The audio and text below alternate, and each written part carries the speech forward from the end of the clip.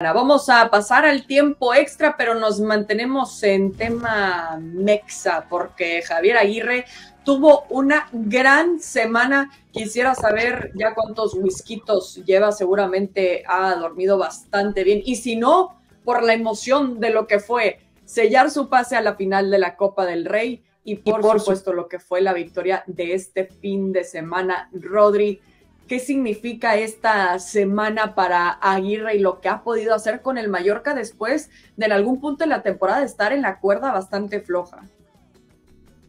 Semana irrepetible. Y fíjate que al hilo de lo que cuentas ahora, de, lo que comentábamos incluso al principio de temporada, ¿no? cuando había dudas por parte del club y del entorno del Mallorca, nosotros siempre fuimos muy, muy, muy tajantes en el aspecto de que no peligró en ningún momento la eh, continuidad de Javier Aguirre eh, al frente del banquillo del Mallorca, primero por temas contractuales, que ya en su día los comentamos, que era mucho más eh, caro para el propio Mallorca despedirlo cuando había aquellos rumores que aguantarle un mínimo de, X jornadas, y, el Mallorca ya no por eso, sino porque confiaba en, ese, en el trabajo de Javier Aguirre y la temporada pasada, al final demostró Javier Aguirre que es un pedazo de entrenador, pues imaginaos, ¿no? Después de todo lo que eh, ocurrió, consigues meterte en la final de la Copa del Rey, en un seguramente final agónico con aquella tanda de penaltis que además pasará para la historia de los virales, eh, con esas risas, con ese buen ambiente, en esa piña finalmente antes de la tanda de Javier Aguirre con los suyos, que parecía que estaban eh, de fiesta en vez de a punto de, de jugarse el pase a la final de la Copa del Rey. Y luego encima consiguiendo la victoria frente al Girona, pues yo creo que es la demostración de que Javier Aguirre y los suyos tienen un cuerpo técnico fantástico, han conseguido hacer un muy buen grupo humano también en el vestuario, por lo cual desde aquí eh, yo creo que la temporada, en un momento en el que se consiga la permanencia, que sigue estando ahí y que tienen que luchar por ella va a ser también inolvidable. Sí, por supuesto, sin conseguir la Copa del Rey, pero con la permanencia, eh, muy qué futuro le ves a Javier Aguirre después de esta semana que acaba de tener. Pues que lo va a tener que decidir él. Eh, va a ser muy complicado, muy, muy complicado repetir el éxito con el Mallorca.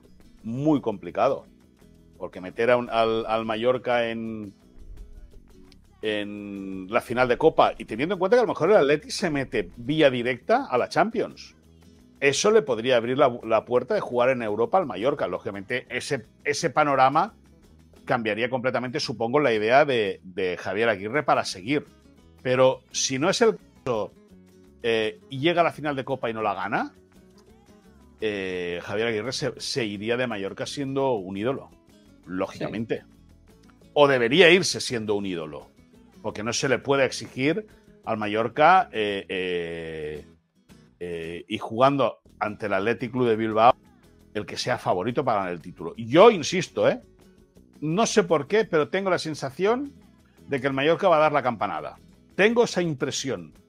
Eh, es verdad que el Atleti a día de hoy, a falta de un mes para la final, va como un tiro. Es cierto, eso es verdad. Presionan muy bien, están rápidos. Eh, los hermanos Williams, ayer no jugó Nico, pero Iñaki y Nico Williams eh, son dos puñales por los costados. Guruceta se ha afianzado como goleador.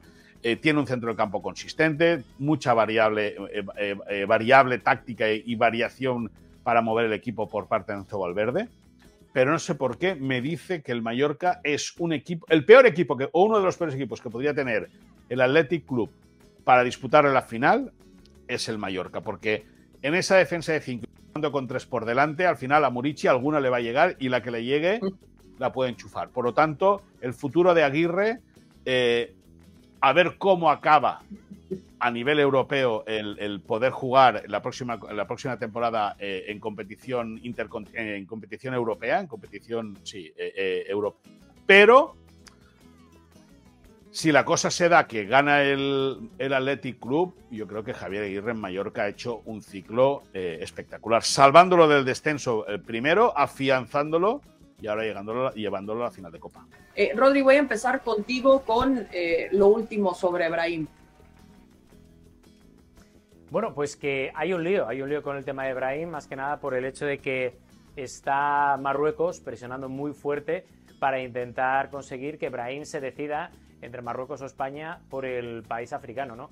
Eh, Brahim es un jugador que por lo que hemos eh, ya advertido desde hace bastantes meses que se siente muy identificado con España, que obviamente su prioridad es jugar con el país en el que él siempre ha vivido, más allá de su experiencia en Italia o en Inglaterra, pero donde él se ha criado y se ha formado. Obviamente es una persona que valora muchísimo sus raíces marroquíes, eh, porque su familia es de allí, pero que eh, de momento sigue esperando a la selección de Luis de la Fuente. El caso es que en el día de hoy se ha sabido a través de los compañeros del diario Marca que Marruecos ha incluido en esa prelista del siguiente descanso de fecha FIFA a Brahim para convocarlo con Marruecos y presionar de alguna forma para que Brahim tome partido y se y digamos que escoja Marruecos antes que España.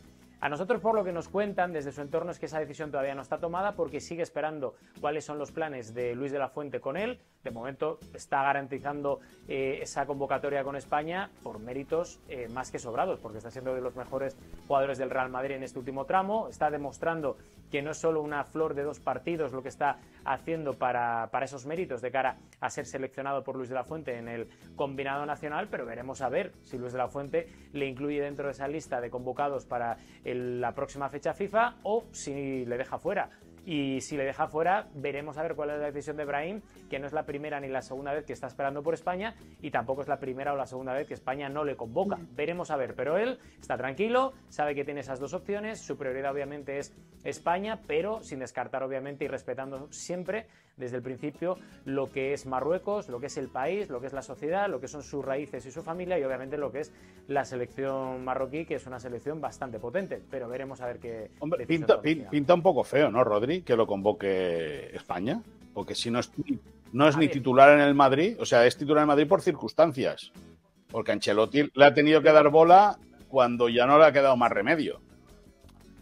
Pero fíjate, Moy, que yo creo, ¿eh? desde la distancia, que al final eh, lo que hizo ya el año pasado en Milán, creo que es suficiente como para haber estado en alguna convocatoria. Y sabemos eh, que De La Fuente tiene muchas medias puntas o jugadores de ese perfil, pero a día de hoy lleva un mes, mes y medio, casi dos meses diría, que está a muy buen nivel.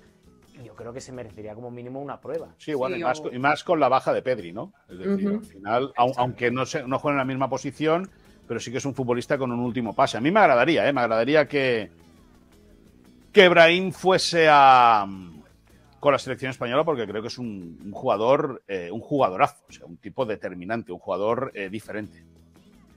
Sí, bueno, y, si se consigue la, convocatoria, que no sea solo por convencerle, ¿no? De poder jugar para la selección de España, sino que sea por merecimiento, que por el momento, como dicen, pues se lo está ganando y a pulso. Eh, el que no ganó este fin de semana, y ya lo platicamos, el Fútbol Club Barcelona, y por eso hoy hubo una charla entre Joan Laporta y Xavi Hernández. Platica. Sí, sí, eh, nada más acabar el partido, eh, cuando, una vez entraron los futbolistas al túnel de vestuarios y se bajó la tensión vivida por el técnico en los últimos minutos, bueno, los últimos minutos del partido, todo el enfado que fue acumulando a lo largo del choque, eh, Xavi Hernández, antes de ingresar en la sala de prensa para atender a los medios, tuvo un diálogo de aproximadamente dos, tres minutos con Joan Laporta. Allí estuvieron eh, eh, intercambiando sensaciones de lo vivido. Xavi le expresó su decepción con lo que o cómo se había mostrado el equipo en el, durante el partido y lógicamente eh, el presidente, bueno, pues, pues le, dio ánimos. Por lo que nos contaron ayer en Bilbao, no ha habido cierta, no ha habido tal charla entre Laporte y Xavi para decirle el presidente de manera informal que sigan el equipo. No ha sido así. Eh, y es muy difícil que Xavi cambie de opinión. Muy complicado. Xavi está muy arraigado a, su staff técnico. Eh, le da mucha importancia a todos sus colaboradores, del primero al último. Considera que son todos claves en el éxito y en el fracaso, o en la victoria o en la derrota. Y solo, solo, según nos contaban ayer, solo si el staff técnico eh, eh, fuese capaz de levantar un título a final de temporada, algo muy difícil, podrían tratar de convencerle a Xavi para que continuase. Pero eh, no está nada claro, bueno, no está nada claro, no, no está nada claro que Xavi le pase por la cabeza el hecho de poder cumplir el año de contrato que tiene firmado ya con el Barça. Sí, que prácticamente semana tras semana le, le preguntan, ¿no? Pero Xavi sigue con esa misma respuesta de que, como dices, Moy lo tiene bastante claro para terminar ahí la, la temporada y marcharse. Eh, hablando de marchar, dando pasos, mejor dicho, Rodri, ¿qué es lo último con Morata? Bueno, Morata ha pasado otra vez, eh, digamos, en esa irregularidad pública que tiene como escaparate, ¿no? Después de eh, un par de fallos que ha tenido en las últimas jornadas, ha pasado de ser el delantero de moda junto con Griezmann en el Atlético de Madrid a ser seguramente el villano en el Atlético de Madrid. Y él ha demostrado con el gol que marcó en ese partido frente al Betis que él sigue a lo suyo, que afortunadamente está muy, muy, muy lejos de, de estar pendiente de esas críticas que obviamente le afectan muchísimo a nivel personal, tanto a él como a su familia, y sigue intentando hacer lo mejor que puede su, el desempeño de su profesión, que es el de ser futbolista y en este caso el de marcar goles, y ayer consiguió un gol muy importante. Es el máximo goleador del Atlético de Madrid, recordemos que además es un jugador que durante el mercado de verano tuvo muchas opciones, no solo la de Arabia, sino tuvo muchas opciones de abandonar el Atlético de Madrid, de ir a sitios más tranquilos, eh, seguramente en cuanto a ambiente y obviamente en cuanto también a presión, pero él decidió quedarse en el Atlético de Madrid tras una charla que nosotros adelantamos en este mismo segmento, en el stage de pretemporada en Corea entre el Cholo Simeone y Morata. El Cholo le prometió protagonismo, constancia y regularidad a la hora de tener esa continuidad que él pedía en las alineaciones, se la ha dado y a cambio él ha prometido goles y lo está cumpliendo. Recordemos que estamos en el mes de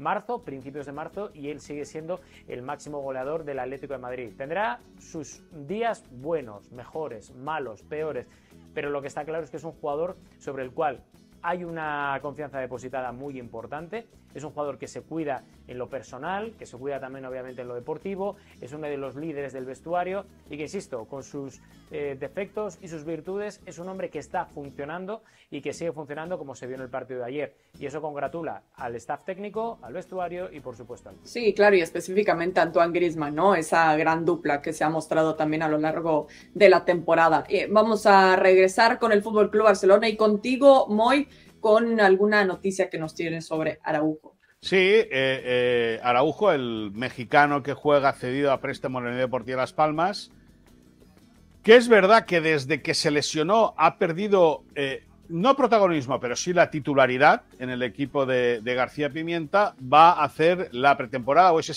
plan inicial que haga la pretemporada con el Barça este próximo verano. Eh, y a partir de ahí ya decidirán qué es lo que, lo que, lo, que desean hacer con el, con el, con el fútbol. El lateral eh, ha rendido muy buen nivel, eh, se ha aclimatado muy bien al fútbol español, entiende perfectamente el rol que le ha otorgado García Pimienta, teniendo en cuenta que supuestamente es la manera en la cual debería jugar el Barça siendo un lateral ofensivo, pero que tiene que replegar bien hacia atrás. Y por lo tanto, el Barça que lo ha ido siguiendo, a Boyan le costó encontrar eh, el camino para poder seguirle, ha podido eh, estar encima del futbolista mexicano y ahora se trata de que venga, de que haga la pretemporada a priori con el primer equipo del Barça y luego ya se decidirá cuál es el futuro de Araujo con de Julián Araujo con la camiseta del Barça en la Unión Deportiva Las Palmas creen que una segunda cesión le vendría de lujo, ya no en Las Palmas, sino en cualquier otro equipo, a lo mejor incluso dando un paso más al frente en calidad, ¿no? Buscar un equipo con otras ambiciones que no la de la permanencia, como es el caso de la Unión Deportiva Las Palmas, que ha hecho un temporadón sensacional. Veremos sí. si el Barça eh, lo cede a otro equipo o incluso si viniese una posibilidad para venderlo, dada la situación económica que tiene el Barça, veríamos si se vende. Pero la idea a día de hoy es que Julián Araujo haga la pretemporada con el primer equipo del Barça. Sí, con esa prioridad seguramente de sumar minutos, algo que sin duda lo hizo también con Las Palmas, que en alguna ocasión que no pudo estar también lo extrañaban, aunque bien lo dices, Moy, que pues, ha perdido la titularidad, pero todavía con esa oportunidad de poder sumar minutos en otro equipo, si es que no es a final de cuentas con el Barcelona y claro, dependiendo de qué director técnico esté al frente pensando en qué o asumiendo más bien que habrá un cambio también ahí desde el banquillo blaugrana.